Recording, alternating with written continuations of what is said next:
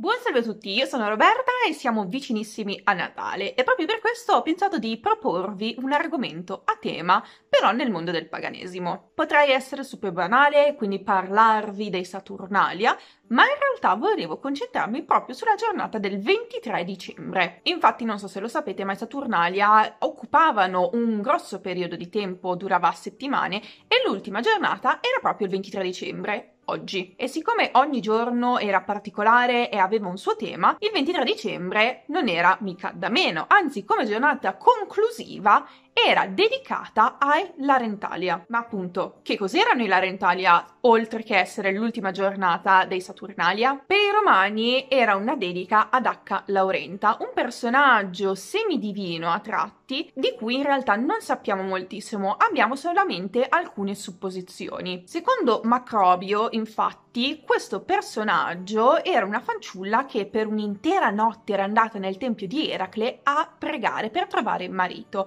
e ad essa, grazie all'intervento divino, poi venne affibbiato sostanzialmente un uomo ricchissimo di origine etrusca. E quando lui morì, lei ereditò tutto, ma poi lo donò alla stirpe romana ed è per questo che i romani istituirono una festa a lei dedicata. Secondo Lattanzio invece Laurenta non era altro che la moglie di quel pastore che trovò Romolo e Remo. Quindi il popolo romano la onorava in quanto genitrice dei due gemelli, non per averli messi al mondo, ma appunto per averli allattati, cresciuti, avergli dato un tetto. E questa informazione è molto peculiare perché la moglie del pastore in realtà veniva denominata la lupa, perché è così che si chiamavano le prostitute al tempo. Anche adesso esiste il termine lupanare in realtà. Ma comunque questa è un'informazione molto interessante e significativa perché secondo alcuni storici la figura di H. Laurenta in realtà deriverebbe da una figura semidivina del popolo etrusco che era una prostituta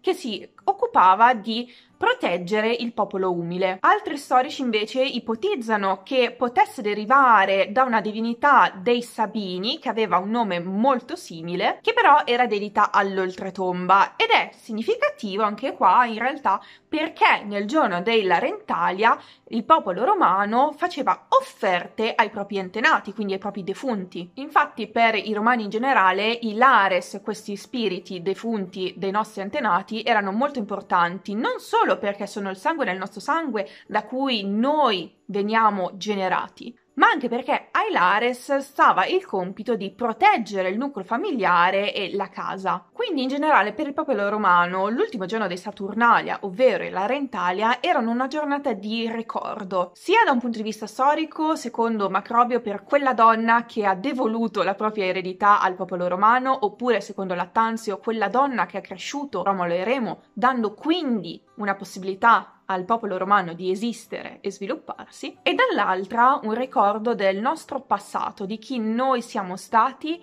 in maniera tale da poter ponderare su chi saremo. Una giornata di ricordo e ringraziamento. Quindi personalmente io vi invito, anche se non siete ricostruzionisti del culto romano, a dedicare questa vostra serata o giornata in particolare al culto dei defunti e dei vostri antenati.